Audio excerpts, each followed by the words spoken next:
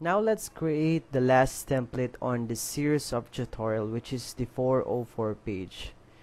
This page will make sure that every link actually goes to a specific web pages and will avoid broken links.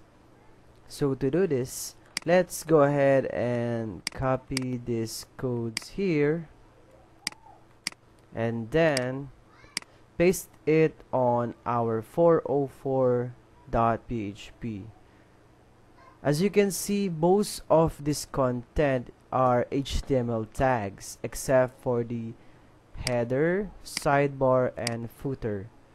This page will simply display a simple error message which says oh snap page not found. It seems you're looking for something that isn't here. And then at the bottom I set up a link to the home page using the home URL function